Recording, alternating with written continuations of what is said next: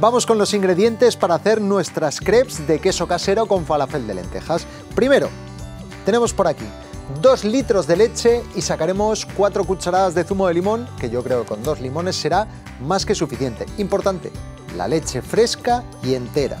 Por otra parte, tenemos por aquí 45 gramos de aceite de girasol, 160 gramos de leche, también si puede ser entera mejor, 120 gramos de harina, dos huevos, pondremos una pizca de sal y una pizca de azúcar que tampoco le viene mal.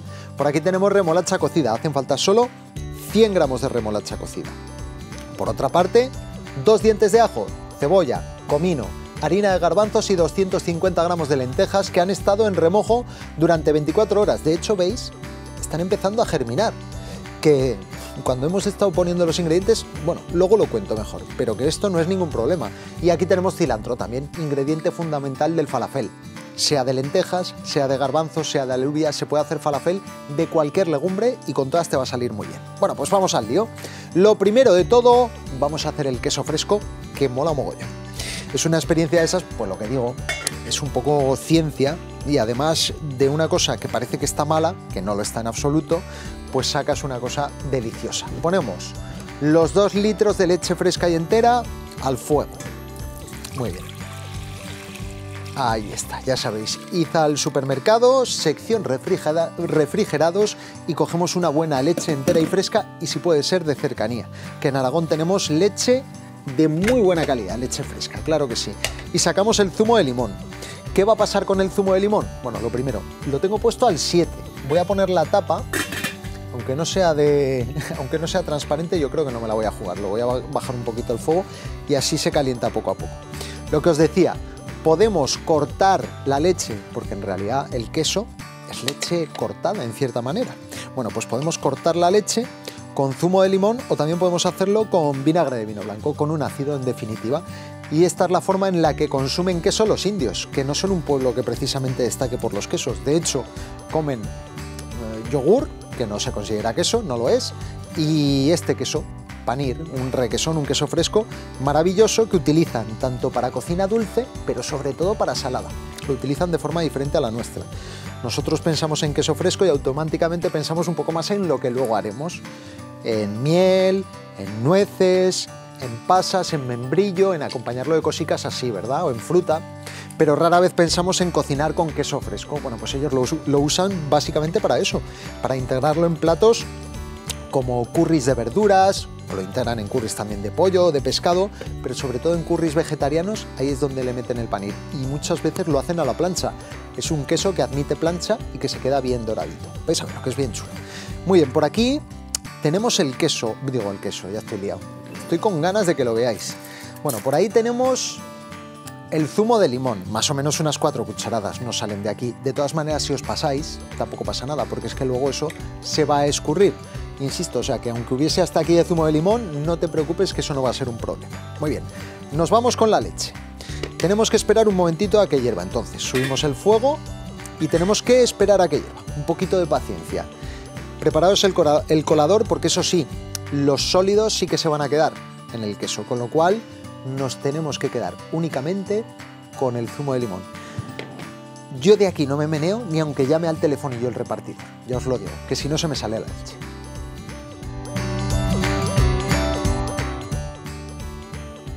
Venga, esto ya hierve, cuidadín, bajamos el fuego, mantenemos ahí un hervor moderado para que no se nos salga y de vez en cuando removido, eso sí. Vale, echamos de golpe el zumico de limón. Ahí está, como unas cuatro cucharadas, a través de un colador fundamental. Muy bien, y una vez que lo tenemos echado, damos unas vueltas. Levantamos de nuevo el hervor y mirad lo que sucede. Automáticamente esto se corta. Que sepáis que muchas veces esto se hacía antes para aprovechar las madres, las abuelas, cuando se cortaba la leche, se hacía esto. Luego se escurría en un paño se eliminaba el suero, que es lo que estaba cortado, y se aprovechaba la parte sólida de la leche. Y de esa manera no se tiraba nada. Bueno, pues ya sabemos que antes no se tiraba nada, esperemos volver a recuperar esa sana costumbre.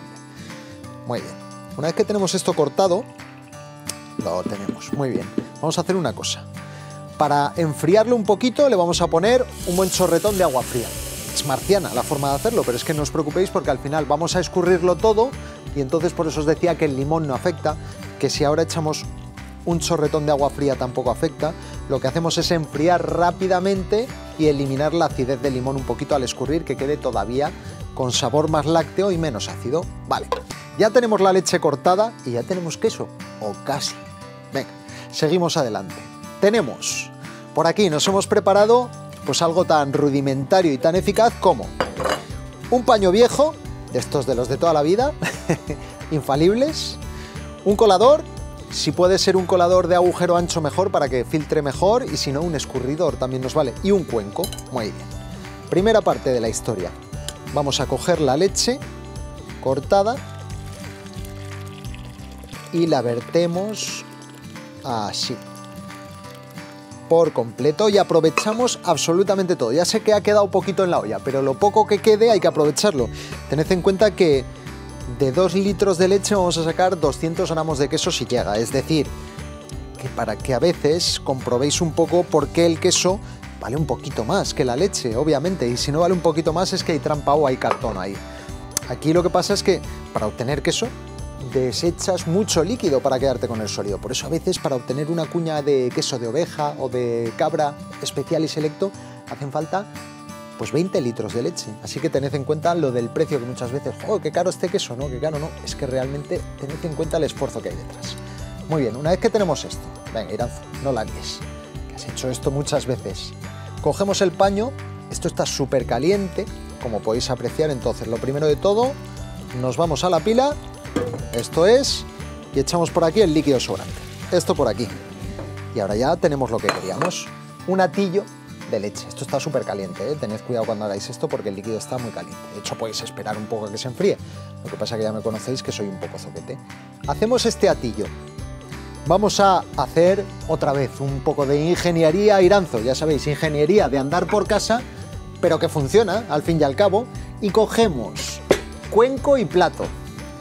Vamos a poner el plato encima de nuestro atillo y el cuenco, que yo creo que como peso es suficiente. Cuanto más peso le pongáis, antes escurrirá todo el suero y antes tendremos el queso. Dejaremos fuera de la nevera aproximadamente una hora y luego ya metemos en el frigorífico lo que queramos. Este queso se conserva bien durante cuatro días en la zona más fría de la nevera, pero estará listo para comer en 12 horas. Tendremos un queso muy húmedo, con mucha humedad y si lo dejamos más tiempo escurriendo más, pues tendremos un queso más compacto, obviamente. Venga, esto por aquí se queda aparcado, iremos de vez en cuando tirando el suero que echa y luego ya al frigo. Y mientras tanto, vamos con las crepes, unas crepes muy originales. Necesitamos 100 gramos de remolacha aproximadamente, esto sí que no lo voy a pesar porque tengo un peso manual ya de haberlo hecho muchas veces. Y ponemos por aquí 100 gramos de remolacha cocida, como no. Ponemos también la leche. Ahí está, imaginaos que crepes nos van a quedar más chulas. 45 gramos de aceite de girasol. Dos huevos, como siempre, los ingredientes líquidos al principio y los sólidos un poquito al final para que de esa manera no se monte un barrete importante. Pizca de azúcar y pizca también de sal y así son crepes polivalentes. Lo, mismo te valen para hacer una receta dulce que una salada. De hecho, hoy vamos a emplearlas de las dos formas. Va a molar mucho. Y ponemos por aquí 120 gramos de harina de repostería. Lo que podéis hacer es integrar con la cuchara un poquito, que luego ya atacaremos con la batidora. Muy bien. Esto por acá. Enterramos un poco, que coja humedad la harina y así no sale volando muy bien. Golpecicos, todo para aquí y así no desaprovechamos nada. Y ahora trituramos hasta obtener unas crepes flower power total. Ya veréis.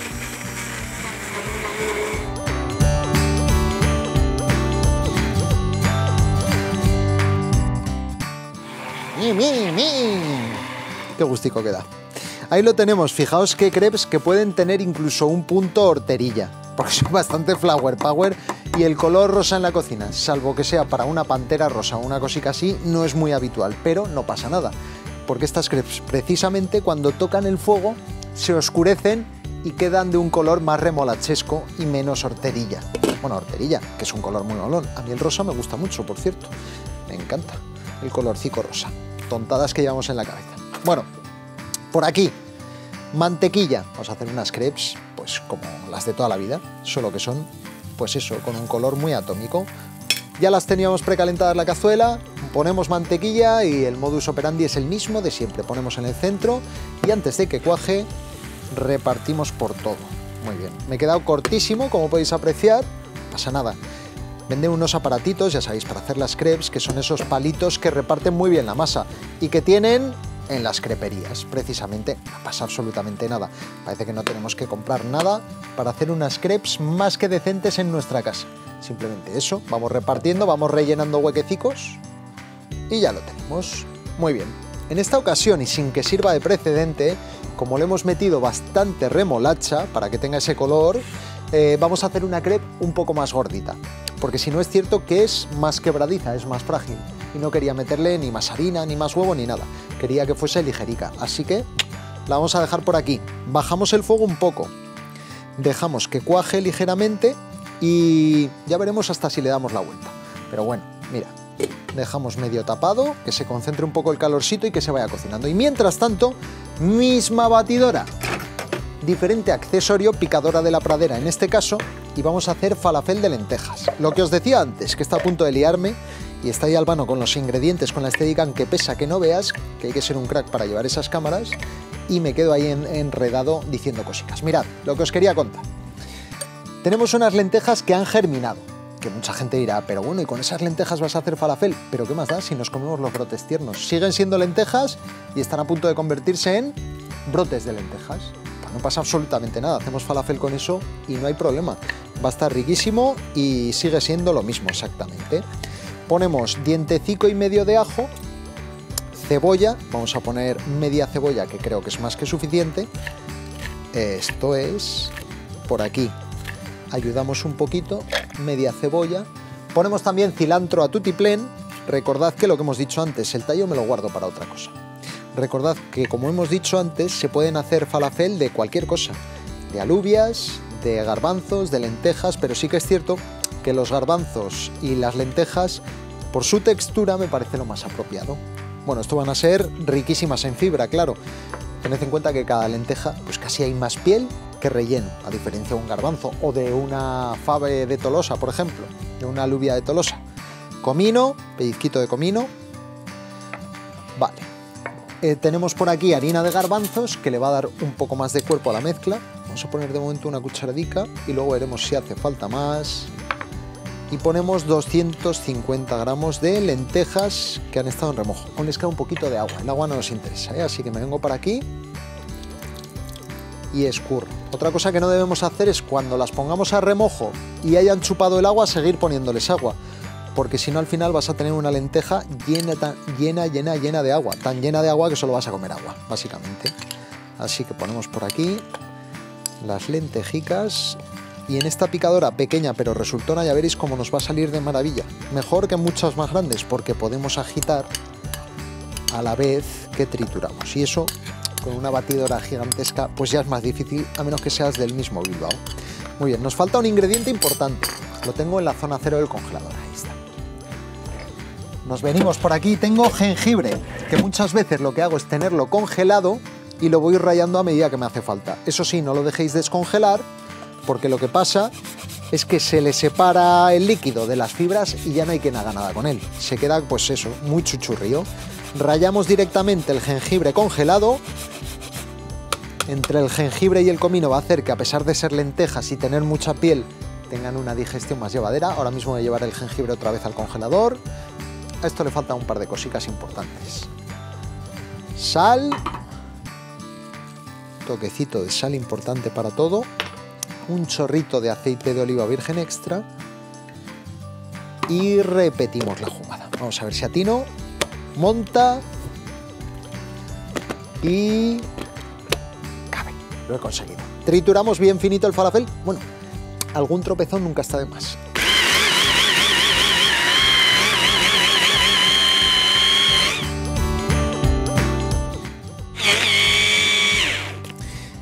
Perfecto. Quedan trocitos de lentejas sin triturar, pero ya es una masa maleable que nos permite darle forma falafelesca. Y eso es precisamente lo que vamos a hacer. Vamos a ver. Retiramos cuchilla, tenemos aceite caliente. Atención, Iranzo, concentración que ahora tenemos muchos frentes abiertos. Harina de fritura por aquí y falafel por aquí. Aceite calentito por acá. Muy bien. Damos la vuelta a la crepe. Venga, vamos a darle la vueltecita. Mirad además y así apreciamos un poco que ha cambiado ligeramente el color. Ya no tiene ese rosa atómico y lo tiene un poquito más apagado. Vale, pues perfecto. Apagamos el fuego porque para mí la crepe está cocinada ya. Y ahora nos vamos a dedicar a la operación falafel. Siempre que hagamos una fritura, ¿qué tenemos que tener? Pregunta, ¿eh? Esto entra en el examen, como siempre. Pues el kit frituras preparado. Papelico de cocina, una araña, unas pinzas, lo que sea con lo que lo vamos a sacar, eso tiene que estar bien listo.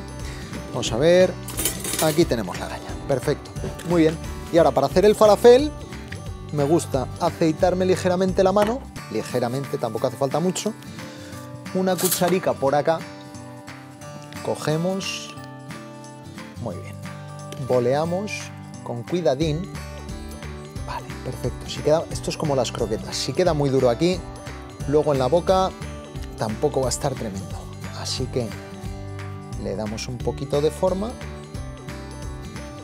muy bien, y depositamos con cuidadín en el aceite, con mucho cuidadín, ahí está, con soltura. Perfecto, vamos a subir un poquito el fuego. Ahí está, perfecto. Y lo que vamos a hacer también, darle una vueltecica y que se vaya dorando por los dos lados. Tiene que quedar muy dorado y crujiente por fuera y ya sabéis, por dentro jugosillo. Qué buenos están los falafel, ¿eh? Me gustan especialmente, pues eso, cuando quedan trocitos por fuera súper crujientes, es ahí cuando me parece un falafel increíble. Y es difícil de conseguir, ¿eh? Lo importante es que os queden tropezones, que no sea un puré, porque entonces... Mm, los trocitos enteros de garbanzo o de legumbre son los que luego en la boca quedan súper crujientes. Venga, vamos a ir friendo falafeles, sacaremos unos poquitos vegetales y ojo, que tenemos el queso esperando y ya está listo. Claro, que teníamos uno hecho, que no somos cucos.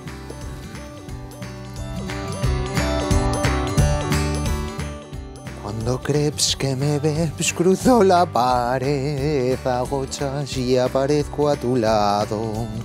Ay, puedes ir tras de mí, pobrecito de ti. No me puedes atrapar. Terrible la canción que acabo de cantar, lo sé, una vez más, pero es que lo merecía. Menuda crepe chula que nos acabamos de marcar, ¿eh? ¿Mola o no mola? Crepón. Tenemos por aquí, he aprovechado el tiempo, aparte para hacer el tonto, como siempre, para hacer un picadillo vegetal a base de pimiento rojo, cebolla, pimiento verde, zanahoria, todo cortado súper fino, y como lo prometido es deuda, aunque no es obligatorio y si no os gusta no podéis, no debéis ponerle, pues cilantro.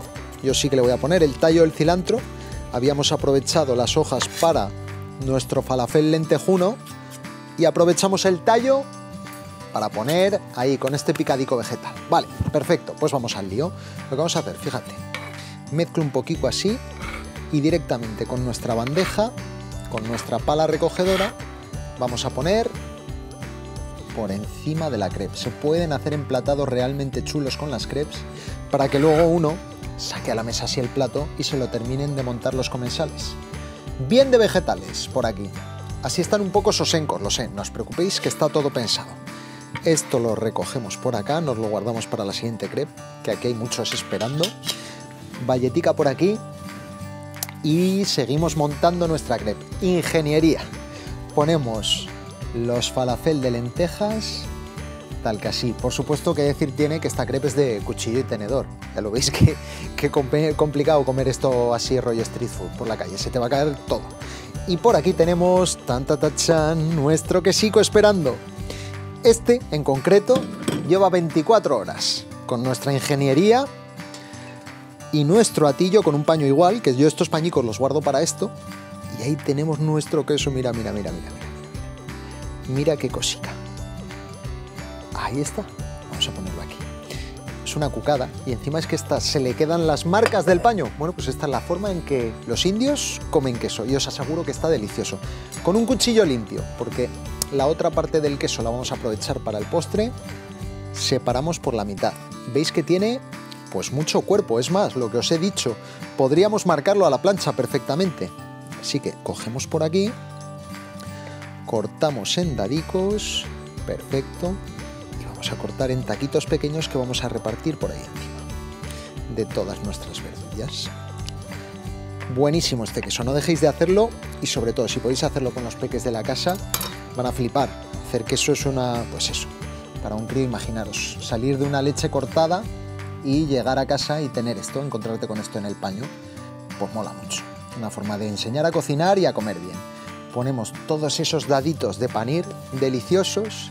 A continuación nos faltan unos tomaticos cherry también que vamos a poner repartidos, china chana, por todos los lados. Y dos salsas, bueno, en realidad tres. Un poquito de aceite de oliva, un poquito de sal para los vegetales y para los cherries. Y tenemos dos salsas, un yogur con aceite de oliva y sal, que es también algo muy indio para coronar las recetas, que vamos a poner aquí en un puntico encima de cada falafel. Y mostaza, que esto ya es más de cosecha limonera, ya sabéis. ¿Cómo vamos a dejar de poner en una crepe unos punticos de mostaza? Pues venga, rematamos la jugada con unos punticos de mostaza así, repartidos encima de todos los vegetales. Esto me está pidiendo verdecitos por el que dirán, no pasa nada. Tenemos perejil fresco, cogemos un poquito por aquí y un poquito por allá y rematamos la jugada de nuestra super crepe Flower Power con color atómico de remolacha, falafel de lentejas y queso panir. No dejéis de hacerlo.